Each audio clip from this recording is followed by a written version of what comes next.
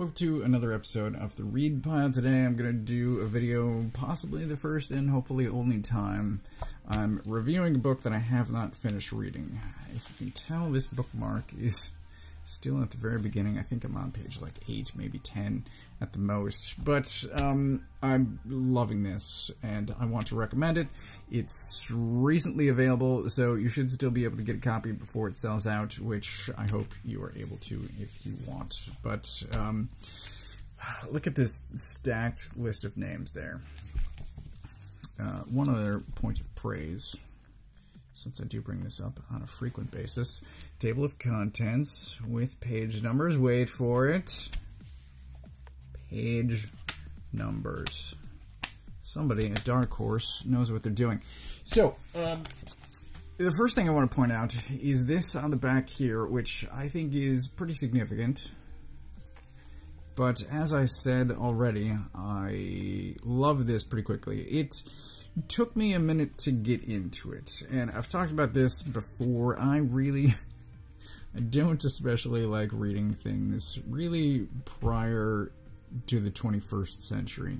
Yeah, I find really going back to 90s comics to be somewhat rough unless I have nostalgia and I read those originally back then. Like, it's even hard to reread some of the 90s material and then going back further, it's even more difficult. It's like 80s, I really can't tolerate, and before that, it's it's just really hard. But um, this was originally written many years ago. The copyright is all over the place, starting in 1939, and it's not written, I think, like any other comic. The closest I can come to is some really well written movies. And I think for me, the most recent example that I can think of is there's a TV show called The Bear, which is also excellent, highly recommended. But there was in season two, there's a, I want to say Christmas? I don't think it's Thanksgiving. There's an episode near the end. I want to say it's episode eight of season two. Um, there's a big family holiday gathering. Everyone's cooking and eating and uh, sitting in the living room, but everyone is talking over each other, they're interrupting each other, and I think that is some of the best written dialogue in movies is not just character A says a line, character B responds, and then, you know, that, but the the interruption, the talking over each other, having separate conversations at the same time, I love that stuff.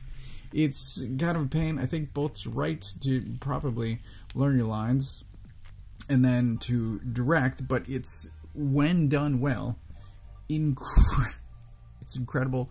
It's lifelike.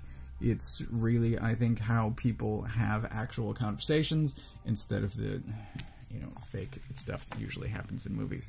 Anyway, that that is some of what is happening here. These two, these two guys here, they are having conversations. Sometimes they'll be talking about something, but really they're talking about something else. They are talking over each other, they're interrupting, they speak in half sentences that maybe never finish, and it's it's just fantastic. I knew, I think by page three, that this was really something special, and like I said, it took me a minute to get into it, but right away, uh, the art is fantastic. I loved it.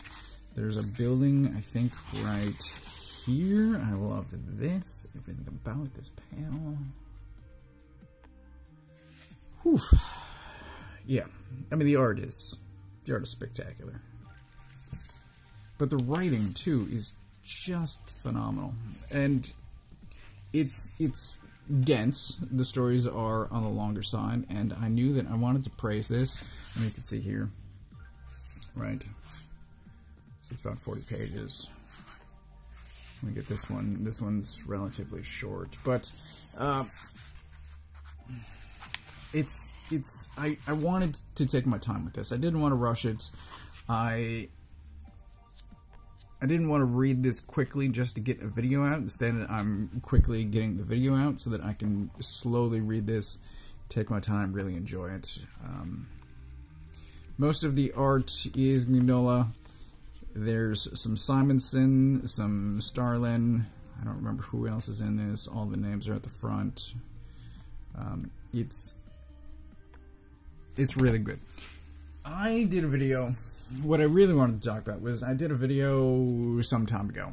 Um, Scud, in that I was talking about growing up fairly sheltered, and then once I was able to break out, I wanted to just devour everything that I felt like I missed. So I think in that I was talking about comics and movies primarily, but the same thing is true for books. And I've always been a fairly slow reader in my estimation. I don't know if I have like some level of undiagnosed ADD or dyslexia. I feel like very mild. Um, but my eye just wanders over the page and I have to reread sentences multiple times to like understand it and I get bored and I skip ahead and it's just it's not good. Reading for me is a mess. Um, but once I got into audiobooks, I've I don't know how many books I have. I think uh, between my wife and I, fifteen hundred. Like it's a lot, and I've read most of that. I've listened to it, but um, the same sort of thing took place for me there. So I've read, I've gone back to a lot of the classics like Jekyll and Hyde, Frankenstein, Jules Verne, and uh, Dorian Gray, and listened to a bunch of the classics. I've skipped over, and I bring all this up because of Chaykin's introduction here, where he's talking. For him, things started with uh, Burroughs. Over here, he's talking about Kline. He's got some Gardner Fox. Frazetta gets mentioned. Howard.